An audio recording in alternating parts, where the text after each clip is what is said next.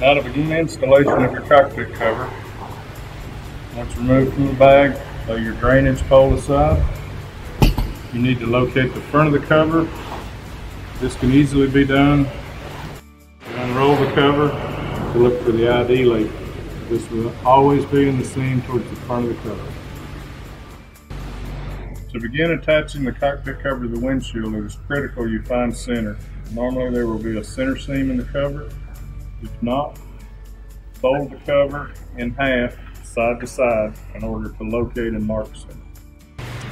To install your cockpit cover to the windshield, now that you've located the center of the cover, find center of your windshield.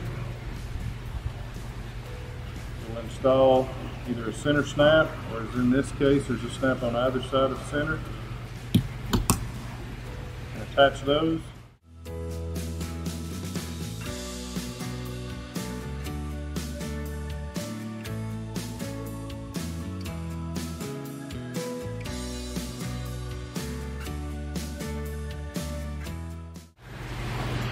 You want to come out approximately three to four snaps off center to both port and starboard.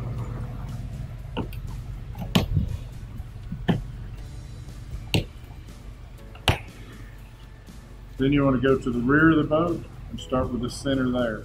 Now that you came to the back of the boat, once again, it's critical you start with center. In the case of this boat, it has a bungee cord. It'll attach center. If your boat comes with snaps, you do the same thing. Locate center stud, mark it with a grease pencil, and install your snap. In order to install the rear corners, it's helpful to have an additional person. This way you can make sure you keep the cover centered and it's not pulled too far to one side. Want to go to the rear corners.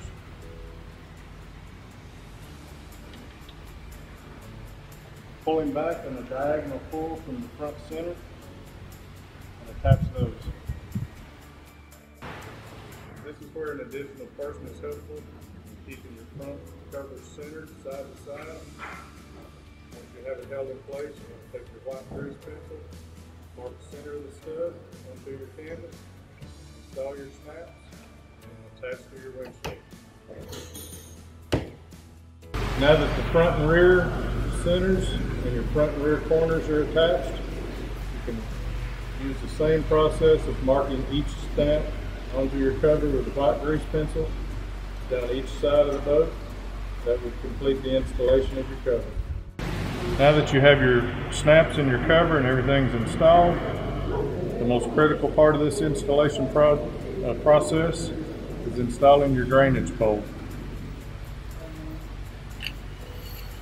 Adjust with a quick, easy cam lock.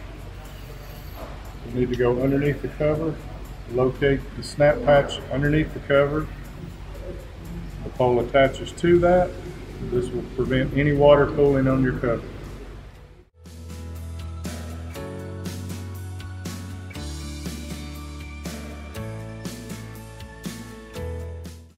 An additional feature you can add to your cockpit cover is our hang tight suspension system.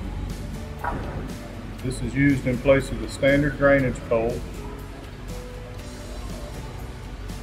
Rope hook that can be added to the underneath of your radar arc or hardtop. Simply attach the hang tight rope to the hook. Use the rope and ratchet pulley system to raise your cover into place for proper water drainage.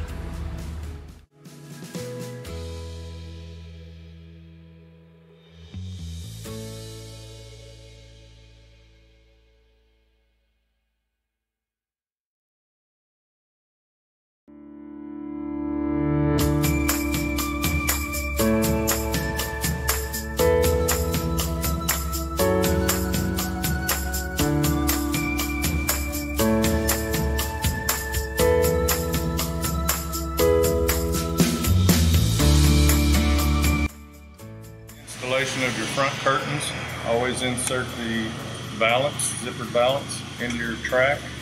Uh, it's can be helpful to have a second person assist, but you can pull it through by yourself. Once it's inserted, if your valance came with a snap, always attach that. Go to the other side and snap the other uh, side. That way you're keeping your valance centered and your curtains even. One tip when attaching your curtains to your valance, keep your fingers between the Velcro of the curtain and the valance. It'll make it much easier to start the zippers. When installing your front curtains, begin with the center section and then work your way outward.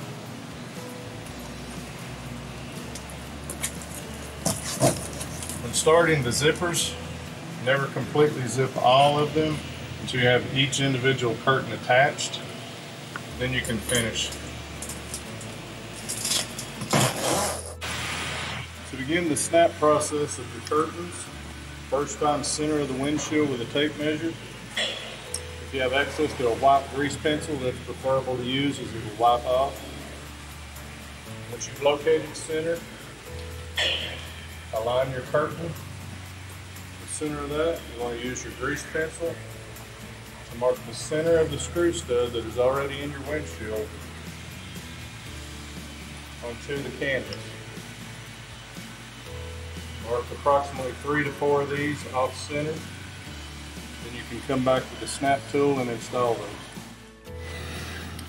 Now that you have all the snap locations marked on your curtains, you can start the install process by taking the socket portion, placing it onto the snap tool die until you hear it snap in place. In the upper snap head goes into the upper die.